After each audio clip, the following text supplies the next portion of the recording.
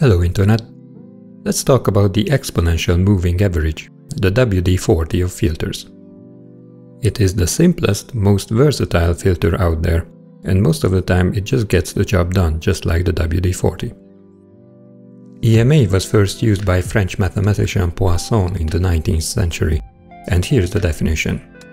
The output y is the sum of the input u and the previous output, multiplied by a complementary coefficient alpha and 1 minus alpha. The exponential part comes from the recursive nature of this filter.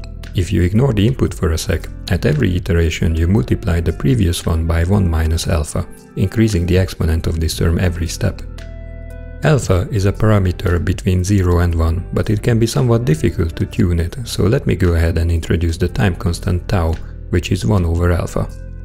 So the EMA formula with tau goes like this.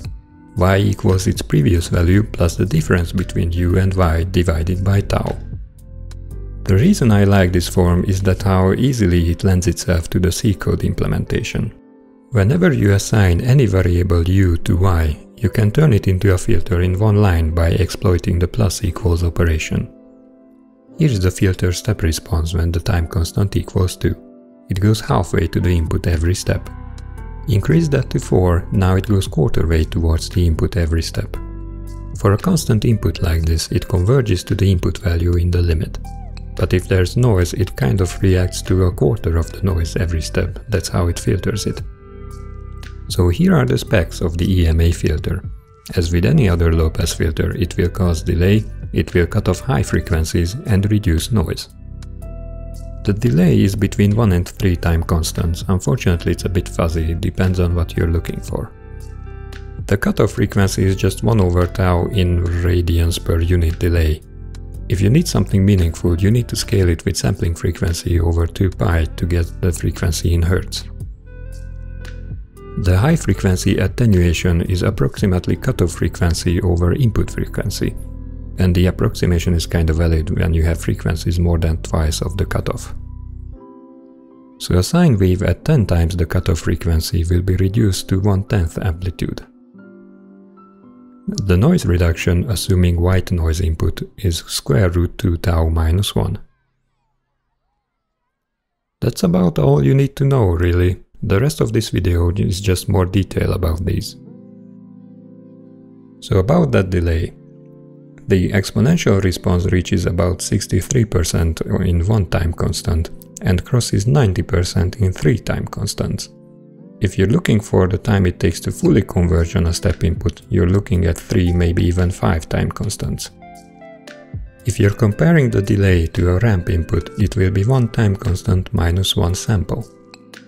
To be precise, when tau equals 1, the filter does nothing but pass through the input, so the delay must be 0 for that case, hence the minus 1. For the frequency response, the cutoff frequency is the inverse of the time constant. At the cutoff frequency, you get an amplitude reduction of about 70%. The high frequency attenuation above the cutoff can be approximated by this hyperbolic function, which is cutoff frequency over actual frequency. For those of you who already learned about this, let me pull up Wikipedia for a sec. Back in college, they had us memorize that the first order system will have a 20 decibel over decade asymptote in the frequency domain and 3 decibel attenuation at the cutoff. This got ingrained in my brain without ever making use of it, at least until much later.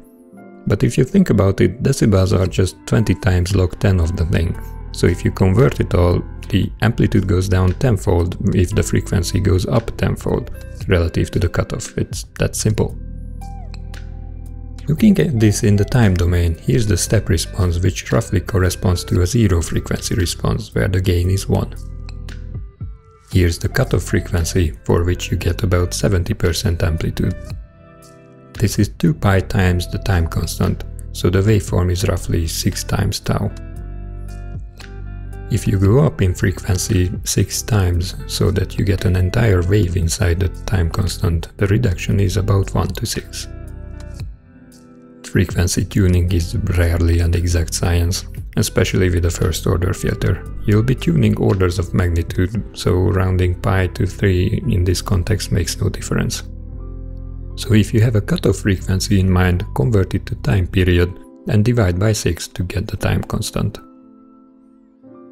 Next, noise reduction. If you feed pure white noise into an EMA, you reduce the standard deviation by square root of 2 tau minus 1. So with tau equals 2.5, it works out to be square root of 4, that is 2. It cuts the noise down to half amplitude. If you want to cut it in half again, you need to increase tau to 8.5. That works out to be 1 quarter amplitude. Generally for larger values, once that minus 1 term becomes negligible, you need to quadruple the time constant to double the noise reduction. The derivation of the noise suppression formula is rather convoluted. I struggled with it a lot and I think it's often left out from college courses. Originally I wanted to present it here, but I realized that this topic is worth its own video, but I'd like to give you a short rundown of it here. On one hand, you start with the discrete convolution formula for calculating the filter response. You convolve the impulse response h with the input u. On the other hand, you should recall the quick rule for variances. Variances add up and multiply by the gain squared. Those two are the key components really. You evaluate the variance of the output y when feeding pure white noise into it. In this case, every element of h is a constant multiplier, so you use h squared, and though the convolution is an infinite sum, it's still just adding up variances. The variance of the input u is just sigma u squared for all n. Here's a reminder of the definition of the EMA filter, and here's the impulse response. You plug it all in, and using the formula for the sum of geometric series you can reduce the expression to sigma u squared times 1 over 2 tau minus 1. Then the standard deviation is the root of that, so sigma u times 1 over root of 2 tau minus 1. For this last part, let's compare the exponential and the simple moving average. These two filters are quite different though. It is a bit like comparing apples to oranges. They both have their own tuning parameter, kind of like being larger and smaller, so you need a way to level the playing field to get any meaningful comparison. This is done by setting the discrete time constant of the EMA as n plus 1 over 2, n being the number of samples averaged for the SMA. So for averaging 5, the equal time constant is 3. Generally speaking, the SMA puts an equal weight on all samples in its window, resulting in a straight ramp transient. The EMA puts a little more weight on recent samples, initially it moves quicker, but then it has a much slower tail end. Regarding delays and noise suppression, they perform equally. As a matter of fact, the basis of the equivalence is the noise reduction, and I was quite surprised that the delay worked out to be exactly the same. Makes me wonder if there's a deeper connection in there somewhere. The frequency response is also quite similar, though I'd give this one to the SMA. It has higher gain around the cutoff frequency and sharper cutting region. SMA has stopband ripple, which can be a good thing or a bad thing. Some prefer the smooth stopband for being more predictable if you don't really know the frequency of your disturbances. On the other hand, if you do know the frequency of the disturbance, you can tune the stopband ripple of the SMA to completely cancel it. Some other points to consider. The SMA needs n elements in memory, the EMA needs only one. As for CPU complexity, both are Ordo type 0. It's clear that the EMA execution does not depend on tau. The naive implementation of SMA scales with n, but with insert and update algorithm it can be independent of buffer size, so ordo 0. The SMA is easier to understand, I give it that, and the EMA is easier to implement, it's a one-liner.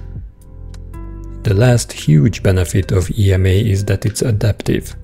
You can easily change the time constant online while the filter is operational. I wouldn't know how to do that with the circular buffer of an SMA, feels rather complicated. Well, that's all about the exponential moving average. I might slowly make my way down to the depths of this iceberg, though I'm less and less confident the deeper I look. Tell me in the comments if there's a filter you want to learn about. Thanks for watching, bye.